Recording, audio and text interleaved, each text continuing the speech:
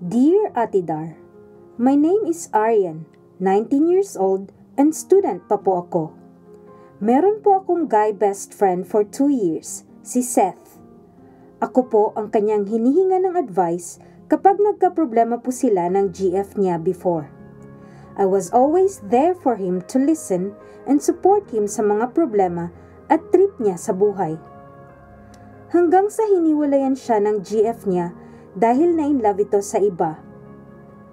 The usual story, third party ang dahilan. Andun ako for him while he was trying to move on. Medyo emotional na tao si Seth and very open talaga siya sa kanyang heartbreak sa akin. Isang tawag niya lang saying na need niya ako, kumakaripas na ako ng takbo as if it's a matter of life and death. Di ko na po maalala kung kailan or paano nangyari na nahulog na ang loob ko sa kanya. Basta ba, gumising na lang ako isang araw na mahal ko na siya. So I took the courage to confess my feelings. Opo, Atidar. Ako pong babae ang unang nagpahiwatig ng nararamdaman ko sa kanya. I really didn't expect anything. Kumbaga sa isip ko, if he'll accept my feelings, good. If not, no hard feelings.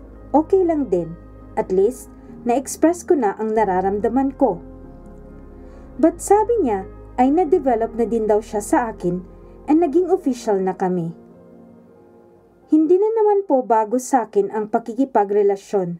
Sa katunayan, third boyfriend ko na po siya.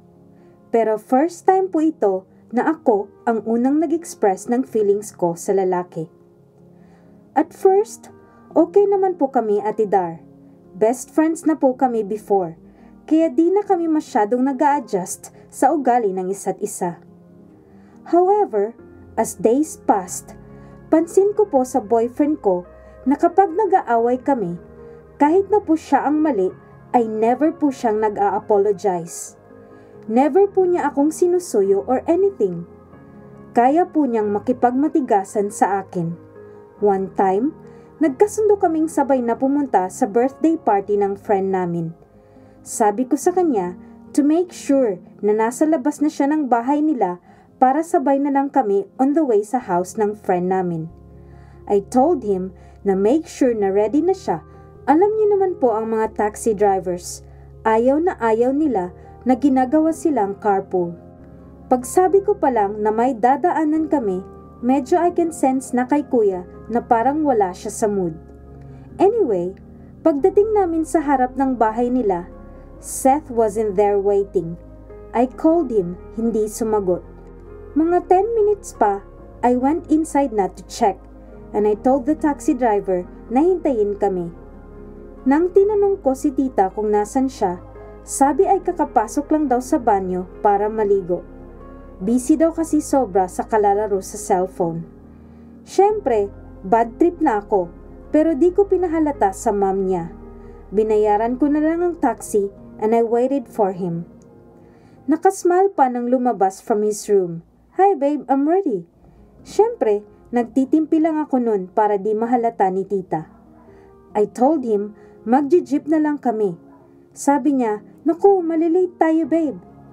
Well, sino ba ang hindi ready kanina? Mag-jeep na lang tayo. Unless ikaw ang magbabayad, di na niya ako kinibo. Buong biyahe, nakatitig lang siya sa cellphone niya. Yung imbis ako ang magagalit, ang ending, siya patong galit.